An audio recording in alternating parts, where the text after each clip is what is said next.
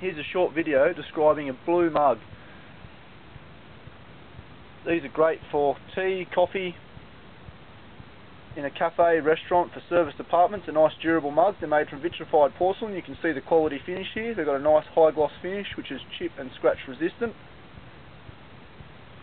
The diameter across the top and the bottom is 8 centimetres overall height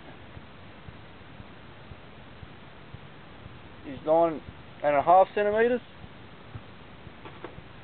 These, to buy this, just click the buy now or add to cart button on this page. Fill in your details and we'll send it out to you. Thanks for visiting the Maven Hospitality Supplies online store.